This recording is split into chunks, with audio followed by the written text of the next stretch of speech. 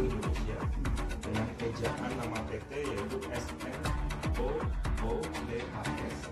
Satu Indonesia. Lalu pasal satu nama dan tempat kedudukan.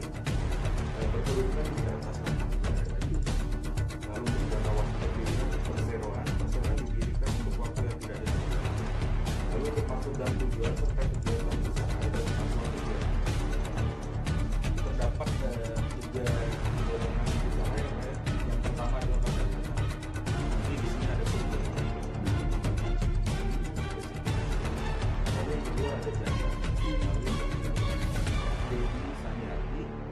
sebanyak 50 saham dengan nominal 50 juta rupiah. Benar ya Pak?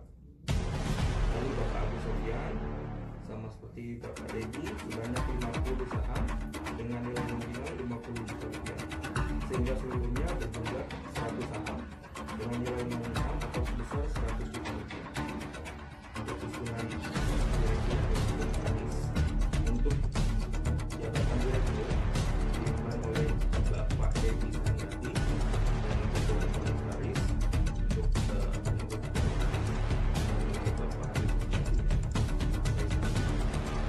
Dan diselesaikan di Jakarta pada hari dan tanggal menentukan awal kegiatan 04 Jadi nanti disebutkan pada tanggal hari ini dengan dihadiri oleh saksi-saksi yang sudah ditandatangani oleh Bapak.